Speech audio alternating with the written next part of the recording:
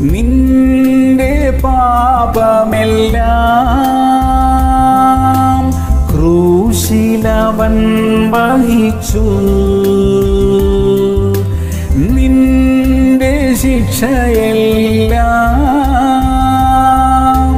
ക്രൂശിലവൻ സഹിച്ചു. ഇനി പാപത്തെ നീ സ്നേഹിക്കരുതേ യേശുവെ സ്വീകരിക്കാം.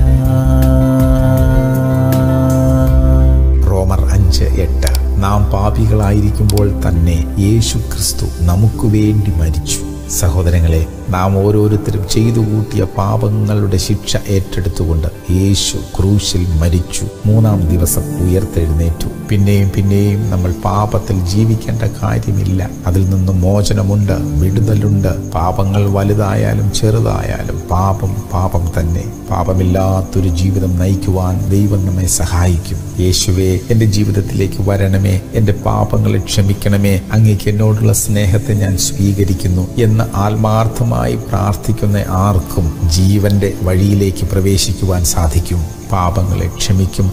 ഒരു നല്ല വ്യക്തിത്വമായി ദൈവം നമ്മെ പണിതെടുക്കും. നമുക്ക് പ്രാർത്ഥിക്കാം. ഞങ്ങളുടെ നല്ല ദൈവമേ ഞങ്ങളുടെ കുറവുകളെ ക്ഷമിക്കണമേ ഞങ്ങളുടെ ഹൃദയത്തിലേക്ക് വരണമേ ജീവന്റെ വഴിയിൽ തന്നെ നടക്കുവാൻ ഞങ്ങളെ സഹായിക്കണമേ. യേശു ക്രിസ്തുവിന്റെ നാമത്തിൽ തന്നെ. അമേൻ അമേൻ അമേൻ